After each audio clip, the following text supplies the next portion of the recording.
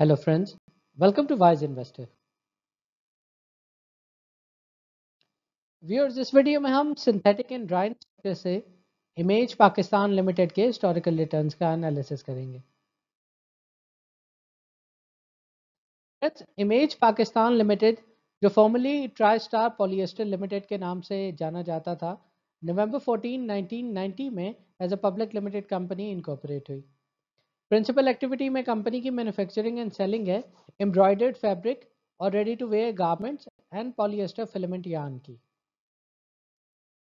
अगर हम कंपनी की लॉन्ग टर्म परफॉर्मेंस की बात करें तो 21 साल के अरसे में कंपनी का शेयर प्राइस दो zero point one six rupees और share price high forty one point seven zero rupees पर शेयर रहा है।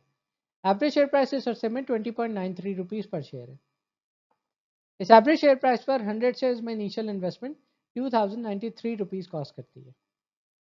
टोटल कैश डिविडेंड कंपनी ने इस अरसे में हंड्रेड रुपीज़ का दिया है और टोटल बोनस शेयर्स की वजह से नंबर ऑफ़ शेयर्स हंड्रेड से बढ़कर वन थर्टी टू हो गया। Last day closing price 9.66 rupees पर शेयर पर करंट इन्वेस्टमेंट वैल्यू 1275 रुपीस है। जो कि ओवरऑल इस अर्से में 34.20 परसेंट का लॉस है और ईयर ऑन ईयर 1.60 परसेंट का नेगेटिव रिटर्न है शेयर होल्डर्स के लिए उनकी इनिशियल इन्वेस्टमेंट पर। इसी तरह अगर मीडियम टर्म परफॉर्मेंस की तरफ़ देखें तो 10 साल के अरसे में कंपनी का शेयर प्राइस लो 0.65 रुपीस और शेयर प्राइस हाई 41.70 रुपीस पर शेयर रहा है। एवरेज शेयर प्राइस इस अरसे में 21.10 रुपीस पर शेयर इस एवरेज शेयर प्राइस पर 100 शेयर्स में इनिशियल इन्वेस्टमेंट 2110 रुपीस कॉस्ट करती है। टोटल कैश डिविडेंड कंपनी ने अपने शेयर होल्डर्स को इस अरसे में हंड्रेड रुपीज़ का दिया है और टोटल नंबर ऑफ़ शेयर्स भी बढ़कर 100 से 132 हो गए।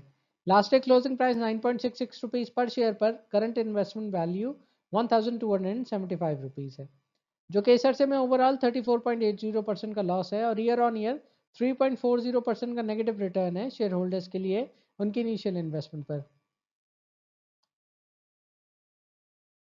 Thank you viewers. Thank you for watching and good luck with your investments.